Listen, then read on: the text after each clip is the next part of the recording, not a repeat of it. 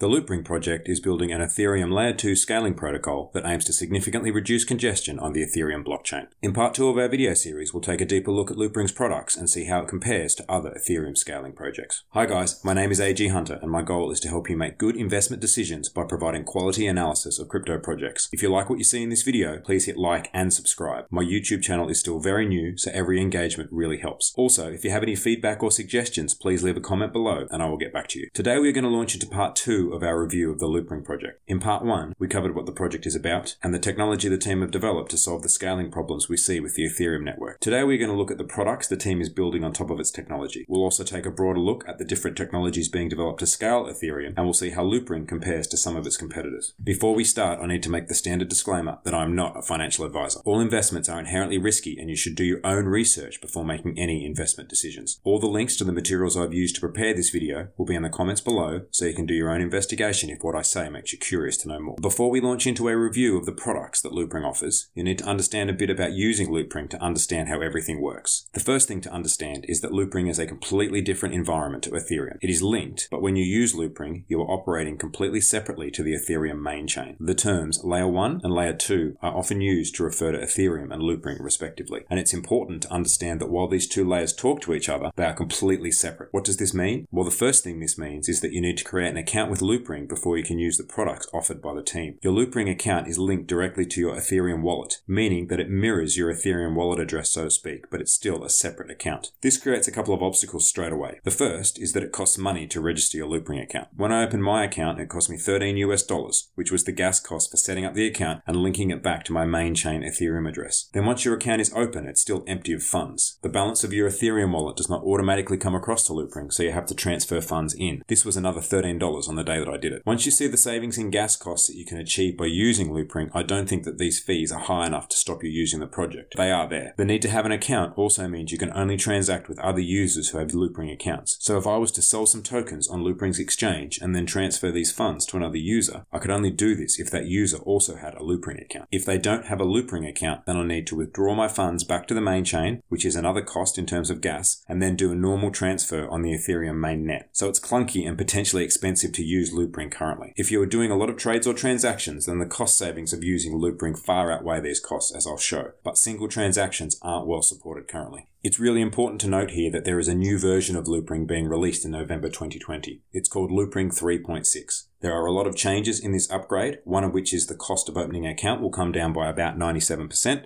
it will also go some way towards solving the issues of having to open an account and the interoperability issues between layer 1 and layer 2. So while these are problems at the moment, there are solutions in the works and the system will be much more user friendly in the very near future. Once you have an account and have funds deposited in that account, then you're in business and can start using the system. I'll now take you through a brief tour of the various products that Loopring has built on top of its technology. The first of these, and still its main one, is the Loopring Decentralized Exchange. I'll refer to this as the Loopring DEX from here on. You will remember from video 1 that Loopring started out trying to build a decentralized order book style exchange. An order book style exchange is something like Binance or Coinbase where there are multiple buy and sell orders for a given token on the exchange at any one time. Loopring's DEX is live and open open for trading. It has a sleek user interface and is very easy to use. I made a simple transaction to test the system and everything was very smooth. I didn't pay a fee for the trade and I believe that this is because Loopring is subsidizing gas costs in an attempt to onboard new users. But from other reviews I've seen, I believe that the ongoing fees will be around 2 cents per transaction. I did the same trade on Uniswap at the same time and the gas fee was $6.21. And gas fees were pretty low on the day that I looked at all this. I've paid $20 per trade lately and I've heard of other users needing to pay up to $40. So as a one for one comparison, the cost of trading on Loopring is about 2 cents per transaction, as opposed to trading on Uniswap, which can be anywhere between 6 and $40 per transaction. One of my main concerns with using a new exchange was around liquidity, but as you can see from the screenshots, the difference in price I achieved for my purchase was negligible. Increased adoption will further reduce any liquidity problems that do arise. Overall, I had a very positive experience with the DEX. I honestly can't see myself using Uniswap again when the cost savings on Loopring are so significant. There are only a limited number of tokens listed on Loopring currently, but this will increase once version 3.6 is released and as more users adopt the system. Overall, I think the Loopring DEX is a great product. In addition to hosting their own exchange, Loopring also enables other exchange providers to base their exchanges on the Loopring protocol. As every transaction that takes place on the Loopring protocol incurs a small fee, this could be a substantial source of revenue if Loopring is adopted more widely. There is currently one other small Chinese-based exchange using Loopring services. A portion of the fees generated are paid as a staking reward to holders of the Loopring token who choose to stake that token. The next big feature that Loopring has rolled out is the ability to do payments. I wasn't able to try this feature, but the logic is the same as we have discussed previously. The bundling achieved by the roller reduces fees for payments in the same way that it does for trades. In short, Loopring allows you to send supported tokens for a fraction of the cost of using the Ethereum mainnet. Sending ETH for 1 or 2 cents per transaction is very attractive. In addition to hosting other exchanges on the Loopring protocol, Loopring also makes its Relayer service available to other users for a fee. The Relayer is the entity that bundles the transactions into the rollup and performs the cryptographic proof that is used to establish validity. This is a significant piece of software and as such would be expensive to develop independently. Access to this service significantly reduces the upfront cost for any project wishing to jump onto the Loopring Layer 2 and therefore seems to be good for encouraging wider adoption of Loopring's scaling solution. It could also be a significant source of revenue for Loopring, however I do not believe that any of this revenue currently accrues to Loopring token holders. The final aspect of the project that I will cover is the Loopring smart contract wallet. Alongside the rollout of Loopring 3.6, this seems to be the other main focus of the development team in the second half of 2020. There is little detail as to what this will actually look like, but conceptually it's a mobile app with the ZK rollup protocol embedded in it that will allow access to the DEX and payments functionality from your mobile. Assuming the user interface is good, this would be a great advancement and could encourage further adoption of the project. Currently in alpha testing, there is no firm release date that I am aware of, but I believe the team are aiming to move to beta testing in mid to late October 2020. The biggest drawcard of Loopring is the ability to trade and transfer for almost no fee. A gas fee of 1 or 2 cents a trade is so vastly superior to the current situation on exchanges like Uniswap that these layer 1 legacy exchanges will not be able to compete if projects like Loopring are able to scale. Scaling, however, is key. If Loopring scales,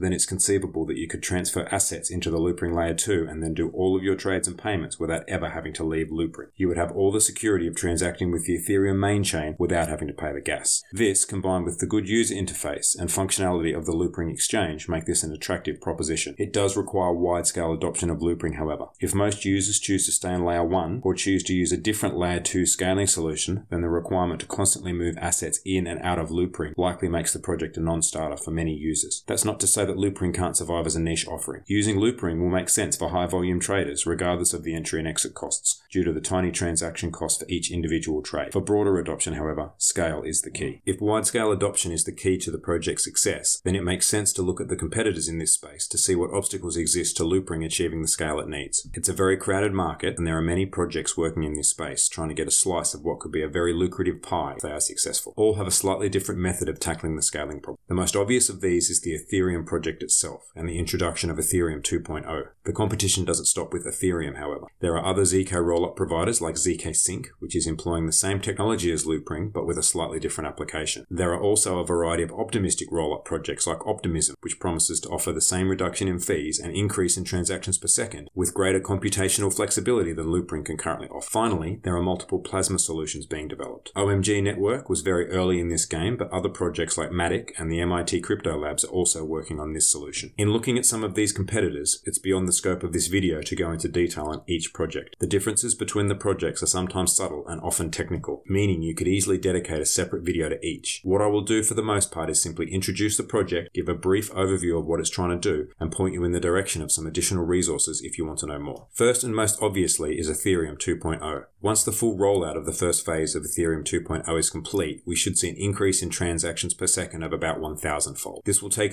Ethereum's possible throughput from about 10 transactions per second currently to upwards of 10,000 transactions per second. There is a clear risk with any of these scaling projects that Ethereum 2.0 could be so successful that it makes all of the layer 2 solutions obsolete. Whilst this is a possibility, I think it's unlikely that this will occur for a couple of reasons. Number one is that when you hear Vitalik talk about Ethereum scaling, he always talks about Ethereum 2.0 working hand in hand with layer 2 scaling solutions. He clearly sees the two solutions coexisting for the short to medium term at least. In this situation, you get the benefits both of the underlying blockchain increasing its capacity, plus the layer 2 sitting atop that main chain magnifying this capacity again. There is no need for the layer 2 solution to go away once layer 1 is scaled. The two can coexist indefinitely, provided layer 2's technology keeps pace with the changes to the main chain. Secondly, it seems like Ethereum 2.0 is always six months away. It's a massive project and it's taking much longer than was originally expected. In mid 2017, I bought an Ethereum cloud mining contract, and I clearly remember that one of the risks at that time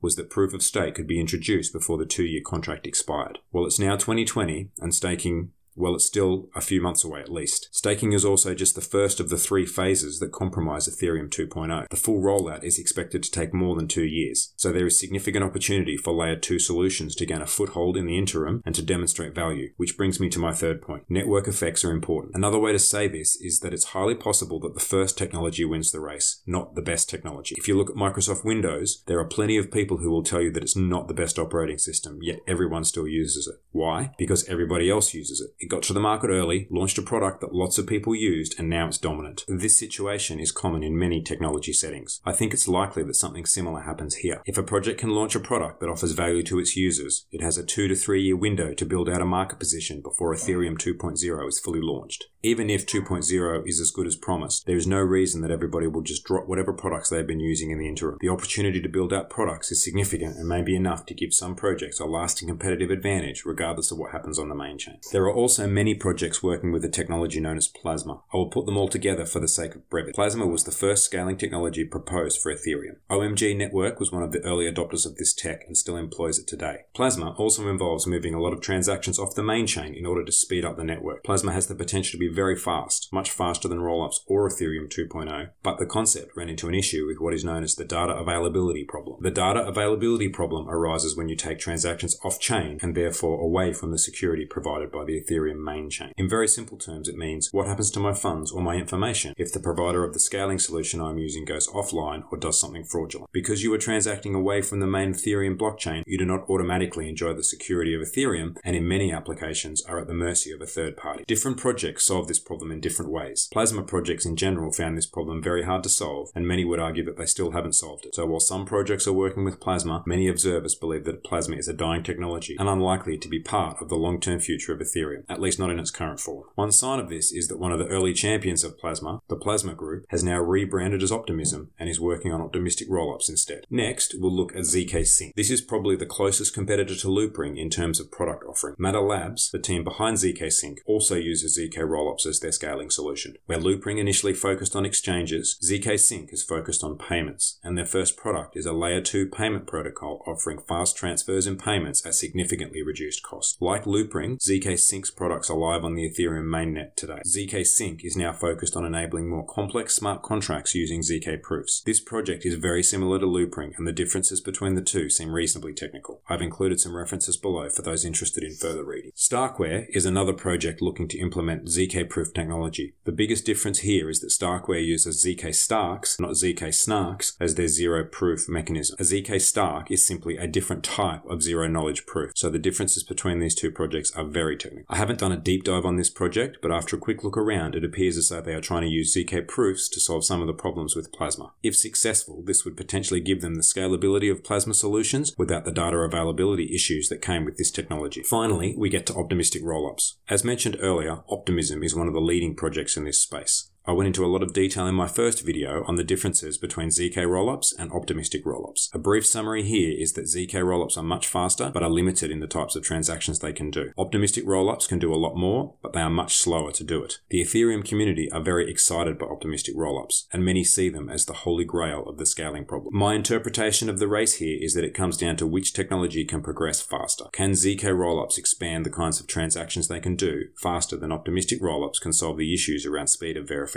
Whichever solution gets there first wins While the optimism around optimistic rollups is high, no one has yet successfully implemented an optimistic rollup solution on chain, so there is still some work to do here. Having looked at the different competitors, I'll conclude by taking you through a couple of different scenarios that I could see unfolding. The first is the Ethereum 2.0 takes all scenario. In this situation, Ethereum 2.0 is so spectacularly successful that it takes all of the market share available for layer 2 scaling solutions and is the only solution that survives. As I've highlighted above, I don't think this is likely, but it's certainly possible. Possibility 2 is that Ethereum 2.0 forms a hub off which other projects build out niche solutions. Potentially we end up with a situation where Plasma solutions are used for transactions, ZK rollups are used for exchanges, and optimistic rollups are used for complex transactions. I think this is the most probable situation in the short to medium term, by which I mean the next two to three years. It's also dependent on whether technical issues can be solved. Can ZK rollups be modified to do complex solutions? Can the verification issues of optimistic rollups be solved? A third possible situation is where once again Ethereum 2.0 forms a hub and one dominant solution takes the bulk of the market. This is the situation where either ZK rollups or optimistic rollups become clearly better than the alternatives and therefore take up all of the market share available to layer 2 solutions. I think this is quite likely longer term, and which technology wins really depends on who overcomes their limitations first. All of the preceding discussion also depends on Ethereum maintaining its position as the preeminent smart contract solution. So if you assume that Ethereum continues to exist, then I think it's fair to also assume that at least one of the layer 2 scaling solutions we've discussed also continues to be successful. I'll conclude with a brief summary of the investment case for Loopring. Firstly, and I think very importantly, it has a working technology and is building out products for consumers today. Its products offer real value and feel a need in the market. Its DEX also looks great and is simple to use. The project has been around for a long time and has a track record that many of its peers lack, and it's in the market now and has a first mover advantage over many of these same peers. I'm not confident enough to pick Loopring as a definitive winner in this space, but it's definitely a project to watch.